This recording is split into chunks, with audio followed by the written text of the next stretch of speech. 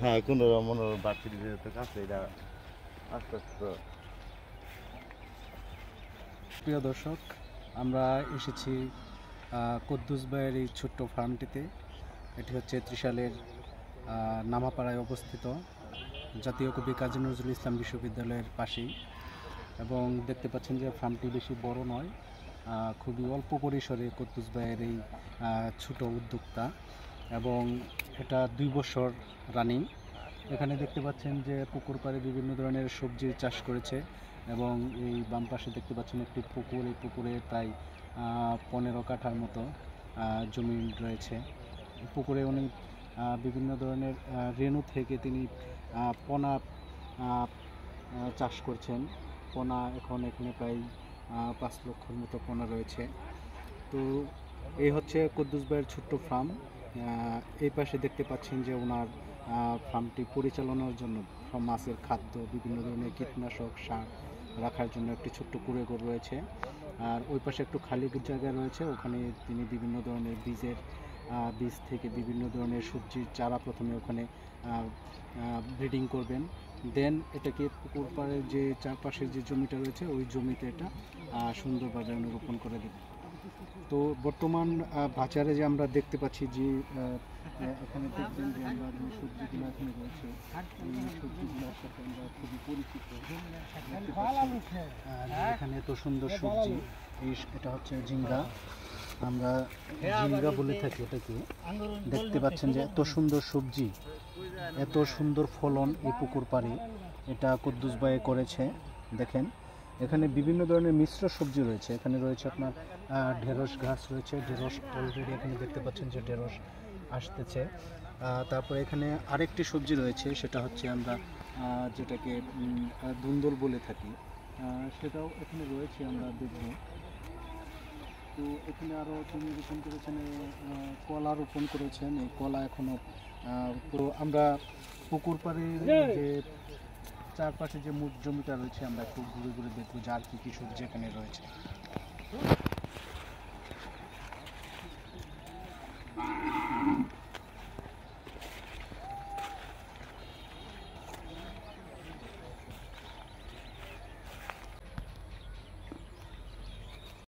দেখতে পাচ্ছেন যে এখানে আহ, আহ, ডাটা চাষ করেছেন। এত সুন্দর ডাটা এখানে হয়েছে। দেখতে পাচ্ছেন যে পুরো পাহাড় জুড়ে ডাটার চাষ।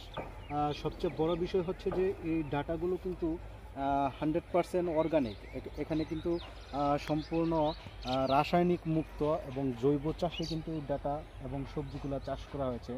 এটা কিন্তু ওনার পারিবারিক চাহিদা মেটানোর পরেও কিন্তু উনি এটি বাজারজাত করে থাকেন। এতে কিন্তু উনি মোটামুটি ভালো অঙ্কের একটা প্রফিট এখান থেকে পান। এবং দেখা যাচ্ছে যে এই সবজি বিক্রয়ের জন্য ওনার বাড়তি কোনো খরচ করতে হয় না। এখান থেকেই যারা সবজি ব্যবসায়ী ওনারা তার এই ছোট ফার্ম থেকে এই সবজিগুলো নিয়ে যাচ্ছে এবং এই স্থানীয় যে বাজার রয়েছে ওখানে কিন্তু বিক্রি করছেন। এবং এই সবজি কিন্তু এখানে তেমন একটা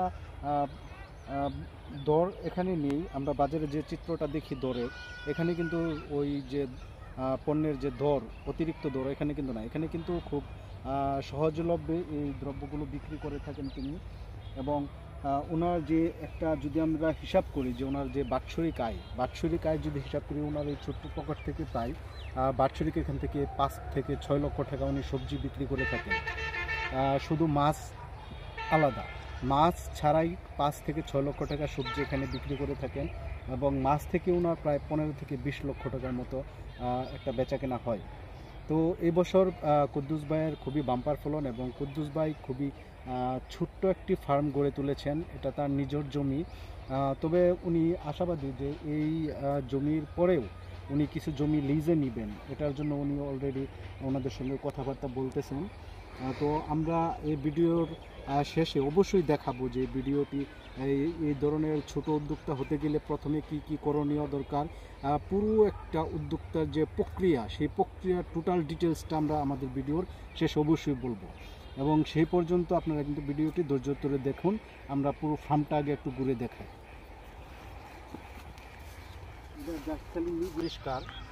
কুদ্দুস ভাই, একটা স্থানীয় কৃষি যে সম্প্রসারণ অধিদপ্তর রয়েছে, সেখান থেকে একটি প্রশিক্ষণ নিয়েছেন। প্রশিক্ষণ নেওয়ার পর কুদ্দুস ভাই কিন্তু এই ফার্মটি চালু করেছেন এবং দেখতে পাচ্ছেন যে আমার পাশে যে ডাটাটি রয়েছে, এটি অনেক বড় এবং অনেক মোটা।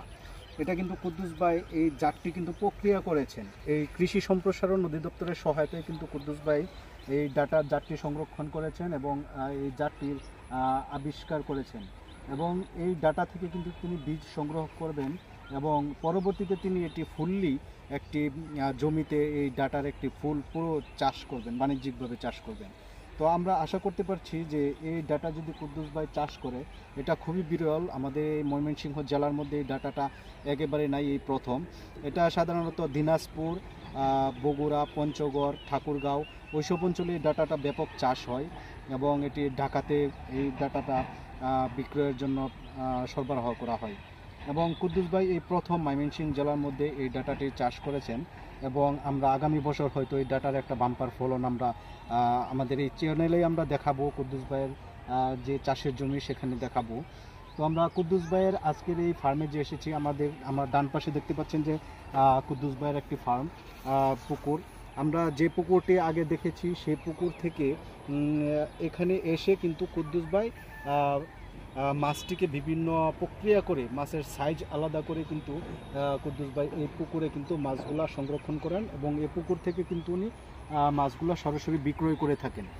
তো কুদ্দুস ভাইয়ের যে এই ছোট্ট একটা প্রায় এক একর জমি নিয়ে যে প্রজেক্টটা এই প্রজেক্টটাতে কিন্তু আমরা দেখতে পাচ্ছি যে টোটালি কৃষিভিত্তিক একটা প্রজেক্ট এখানে কিন্তু অন্য কোনো ধরনের রাসায়নিক বা বাহিরের কোনো মাছের যে রাসায়নিক খাদ্যদ্রব্য এই ধরনের কোনো কিছু তিনি ইউজ করেন নাই। তিনি মাছের খাবারের জন্য তিনি জৈব যে খাবার প্রক্রিয়া করে তিনি খোল, ভুসি, কুড়া এগুলো দিয়ে যে জৈব খাবার তৈরি করা হয়, সেই খাবারটাই দেখেন দর্শক কুদ্দুস ভাইয়ের এই হাইব্রিড প্রজাতির যে উচ্চ ফলনশীল যে চিচিঙ্কা দেখতে পাচ্ছেন যে কত বড় হয় চিচিঙ্কা এত বড় চিচিঙ্কা আসলেও কিন্তু এটা কিন্তু আরেকটু বড় হবে। এটা কিন্তু উচ্চ ফলনশীল এটা কিন্তু জাত। কোনো রাসায়নিক সার ব্যবহার করে কিন্তু এটা এত বড় করা হয় নাই।